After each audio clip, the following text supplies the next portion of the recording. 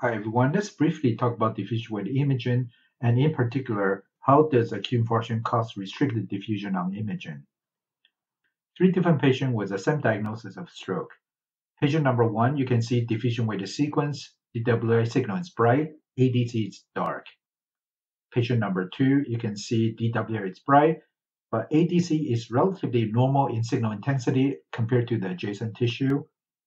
Patient number three, you can see it's DWI bright and it's also ADC bright. So imaging description, we call first one restrict diffusion, second case ADC pseudonormalization, third case T2 shine through. Our clinical interpretation is that first patient has acute infarction. That's anywhere between onset all the way up to 10 days in adult. Second case, uh, subacute infarction, that usually occur after second week. Third patient has chronic infarction that typically occur three weeks and out. So restrict diffusion equals acute infarction on imaging and it's bright on DWI, dark on ADC. When we talk about restrict diffusion, essentially we're talking about restricted diffusion of the water molecule compared to the adjacent normal tissue. So the question is, how does acute infarction causes restricted diffusion?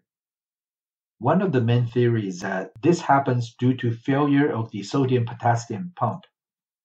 As you remember, sodium potassium pump is embedded within the cell membrane. One of their job is to pump out three sodium and let in two potassium. Those create an electric potential across the membrane. Also, by passive gradient, there's influx of water want to come in from extracellular compartment into the intracellular compartment by passive gradient. So you need an active pump to pump out the water to sustain the cell.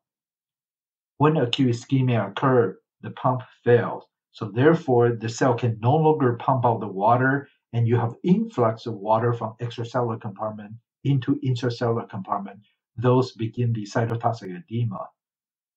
In this simplified diagram, there's a sample that comprises of intracellular compartment and extracellular compartment.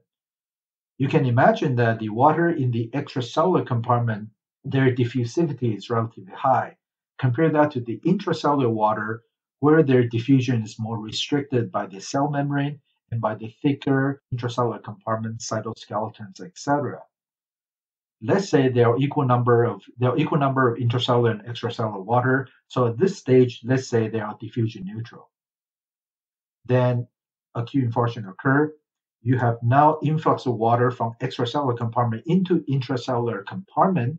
On average, the entire sample is going to have more restricted diffusion compared to the adjacent normal tissue. As the cell begin to swell up, that can further crowd out the water in the extracellular compartment. So even the water in the extracellular compartment in this case is going to be more restricted compared to the adjacent normal tissue. So at this point, your sample is going to experience the maximum restricted diffusion. So we see that on imaging, very bright on DWI, dark on ADC. Then as the cell begin to draw water from the vascular space, you have vasogenic edema that start to bounce out the, the ratio between extracellular water and intracellular water. More water comes in from vascular space, and eventually, so we're back to the diffusion neutral state. So this is what's going on with pseudonormalization, roughly around second week. As the cell begin to lyse, now they release the intracellular water back into the extracellular compartment, so you begin to have increased diffusion on average. So eventually, as the cell begin to lyse, completely lyse away, you have the entire sample now comprised only of extracellular compartment. So not only you don't have restricted diffusion anymore, compared to the adjacent normal tissue, now the sample has increased diffusion or facilitated diffusion. This is a nice example of the patient that was scanned every single week.